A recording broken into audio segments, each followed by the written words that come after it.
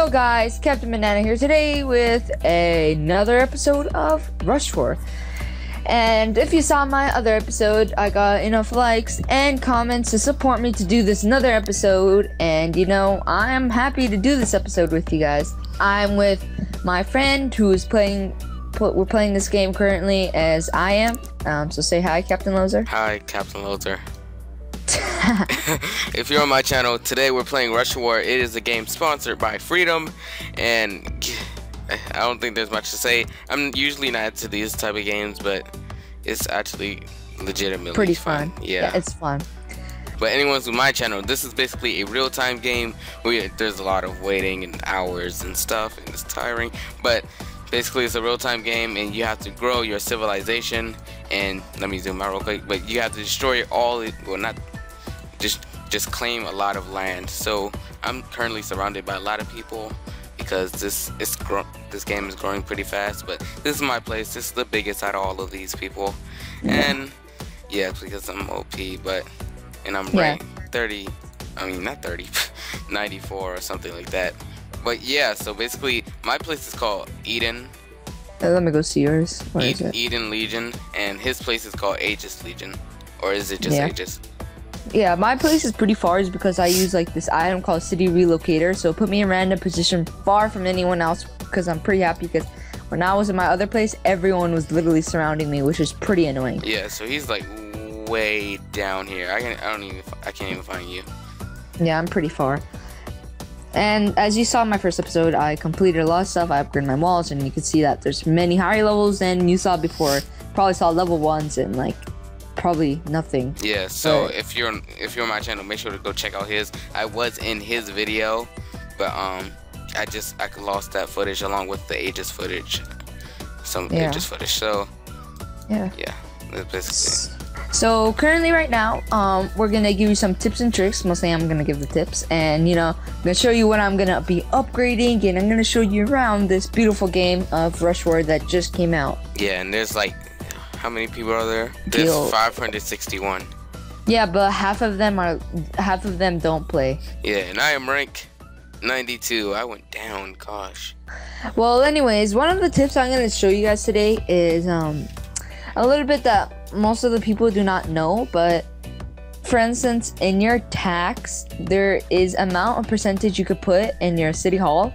So right now I have 30%, and the higher you the tax rate you put, the lower your um the lower your your health goes. The lower it is, the worse it is because like the the population becomes lower when that thing is lower. So the Yeah. health thing. Okay. So it's always good to put like probably 30% or probably 20, I guess, because if you put it too high, your city will not get that much They will not be happy. They will Yeah, people will leave. Usually, when you um when you get an alchemy school, you should get a military academy and an alchemy school right away, before you get like stables and like. Uh, you need to get an armory first to get the military academy, Yeah. and So your priority would be Army, Military Academy, and Alchemy School. Yeah, it's because what's really nice about it is when you go to it, you could upgrade a whole lot of stuff. Like, it will help you much more. Like, for instance, you could upgrade your um, your speed of attacking, your economics, like so it takes less intakes of your crops and all that stuff.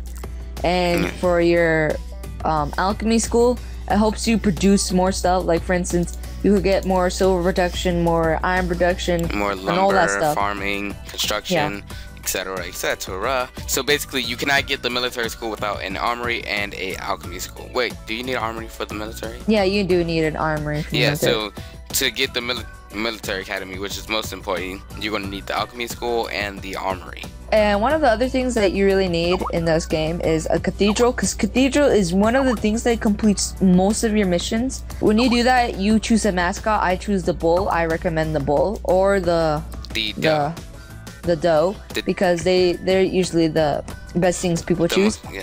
And make sure to be careful with your choices because once you choose them, choose them, it costs a lot of gold to change them back. Yes. And gold you cannot. all. If you abandon your mascot, that's a very high risk that you're taking.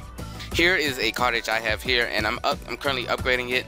Either you can wait 20, 12 minutes. 12, I said 20 minutes, 12 minutes, and it does go really high. Like five hours, it goes really high. So either you can wait the 12 minutes or you can speed it up using gold, which is like really important. Gold is like very key, but you can you know use trainees, and everyone has a different type of I guess things and I can't I can't really explain it, but yes, you can speed up the real time action. So, I guess yeah, yeah. So guys, I'm gonna end this episode here. I gave you some tips and go check out this game.